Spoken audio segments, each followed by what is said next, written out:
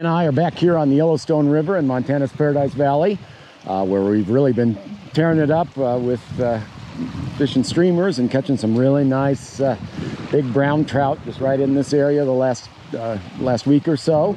And I'm not won't uh, claim to be any kind of streamer fishing guru, but I got a few tricks up my sleeves and, and might just give a little advice here, talk along as, as I fish a little bit and and maybe there'll be something useful in it for you if you if you haven't fished streamers a lot, or even if you have. Um, first, let's talk a little bit about about equipment and gear. And you know, I think uh, lately a lot of folks that that uh, younger folks, especially that are really trophy hunters, have have been using seven weight, even eight weight stiff rods and casting heavy heavy sink tips and, and huge streamers with that. But but really, unless you're only after huge, huge trout, that's just not necessary. And likewise with a boat, uh, uh, you really don't need a boat to fish streamers. And in fact, I think you can fish a lot of times more effectively uh, on foot with, with wading, wading and, and swinging streamers because you can really uh, you know, systematically cover the best water.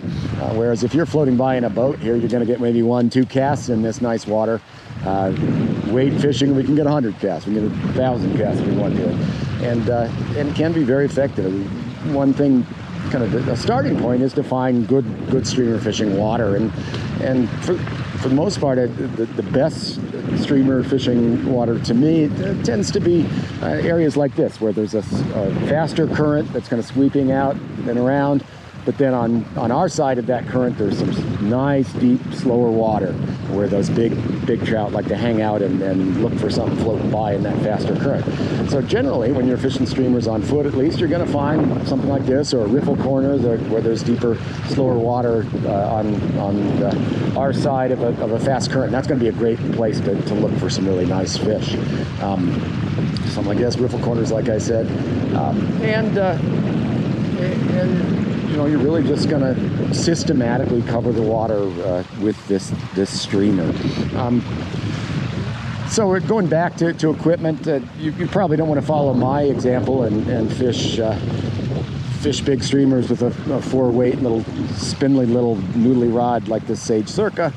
But if you've got a five weight or six weight that's relatively fast action, um, you can cast pretty much any streamer except for the perhaps the biggest and bulkiest, and you probably don't want to be fishing those anyway because, well, you can hurt yourself when they hit you. Um, for for wade fishing, I almost always just use a, a floating line and then uh, a regular nine foot leader. You can go pretty heavy on the tippet uh, for streamer fishing, when like say fishing small dries. I, I try to kind of compromise it. This is a nine foot zero X leader.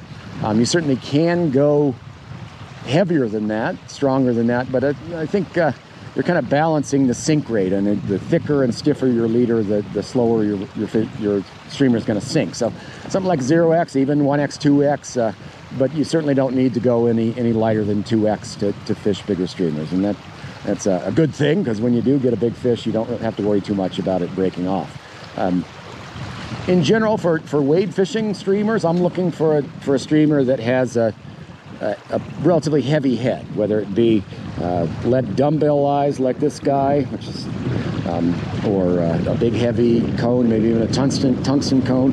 What you're looking for is a fly that's going to get down fast and that's going to kind of give a real jiggy action. So if it's heavy in the head, um, with the floating line, as it drops, that it's going to drop head first. Um, but then when you strip, it's going to jig up and down. And so that's something that I look for in a, particularly when I'm uh, fishing a streamer on a floating line. With a sink, sink tip, it's a different story. Sometimes it can be even better to, to, uh, to, to, fish a, a light, uh, light buoyant fly with a sink tip. But with the floating line, heavy head, you can even pinch on a split shot or two right in front of the head. It's not like the fish are going to be leader shy or, or, split shot shy. They're just going to see this coming by and, and either they're going to grab it or not. So let's actually do some fishing. And so like I said, we're going to start. I usually fish downstream uh, when I'm when I'm fish, swinging streamers and and so I'm going to usually start at kind of the head of the, of the pool or run that I'm going to be fishing. And sometimes you will find fish just right uh, right where the water comes in here. So it's a good idea to swing a couple right through there uh, because sometimes they will sit right in underneath that uh, that fast current. So I'm going to start short and just kind of cast it out there and, and strip it back through that uh, that water. Um, so again, you're generally going to cast either kind of straight across the current or, or a little downstream. You want to give it a little time to sink so you can throw some minnows in there and then just kind of swing it uh, right out of the current here. And we'll see that uh, a little better down, down lower. Um, and I'm just going to work my way downstream, okay? Nothing, nothing hit it there. Um, usually, if, if they're gonna, if a fish is gonna hit the streamer, it's gonna do so on the first cast. So I don't really go back through water. I just kind of work my way downstream, take a couple steps, let that, uh, let that streamer uh, sink, sink, sink, and then just kind of strip it and swing it back out of that current into the slower water. You'll see I do a few things that to kind of enhance the action of, of, this streamer.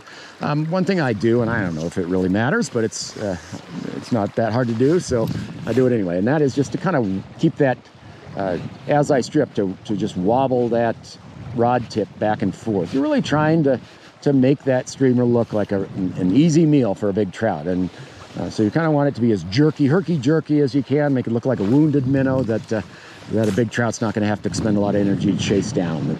So we're just going to kind of let it swing out of there, and, and as I do so, I'm wiggling that rod tip, just trying to make it, give it a little more of a herky-jerky action. One thing to know about, uh, about streamer fishing for trout, especially in the West, that one of their uh, favorite big meals is, is the sculpin, uh, sculpin bait fish. Um, tons of them are in the Yellowstone River and other western rivers.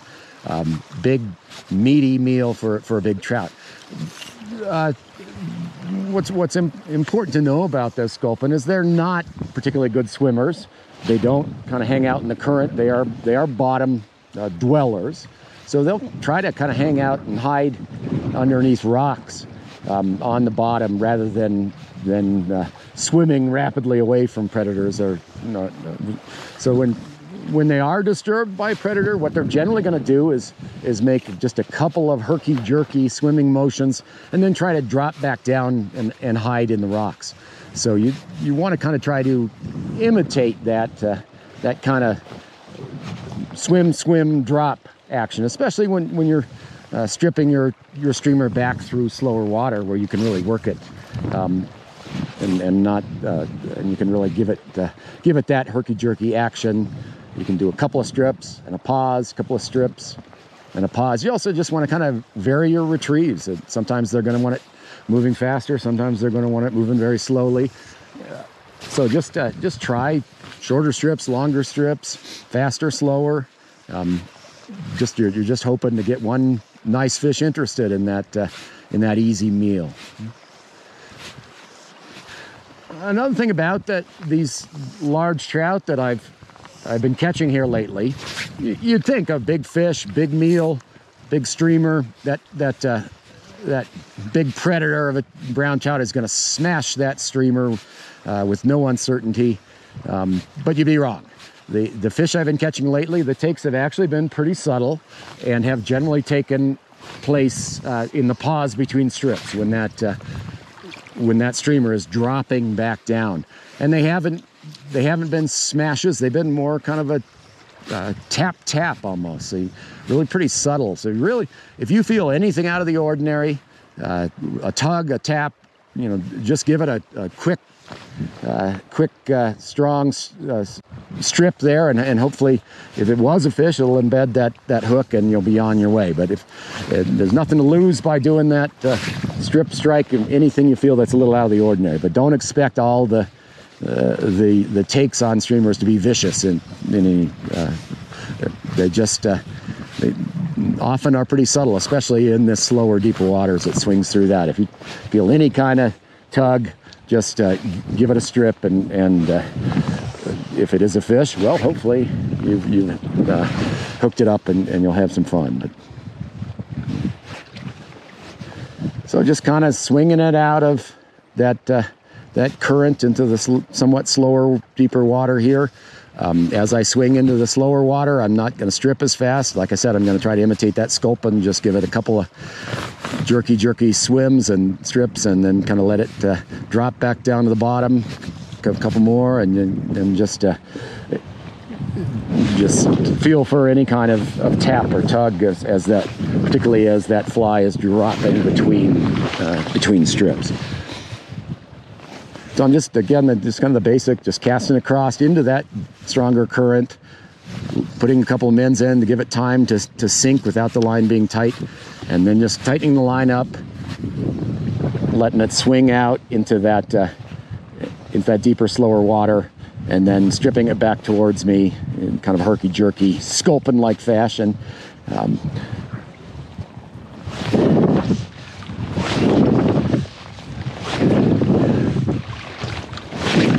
if you are fishing big streamers, big heavy streamers, especially if you don't have a lot of experience with that, I do recommend that you pinch all your barbs.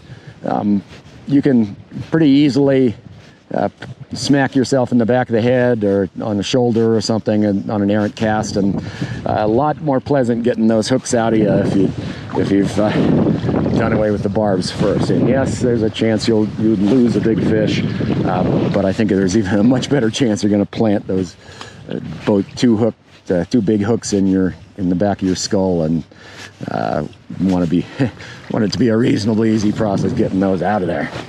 So just a couple steps in between each cast, casting out, mending, letting it uh, sink down there, and then uh, we just tighten up the line, letting it swing out of that uh, faster current, and then uh, stripping it back towards me. And one thing that you, you can do a lot with while you're uh, streamer fishing on foot at least is using mends to to uh, adjust your your swing.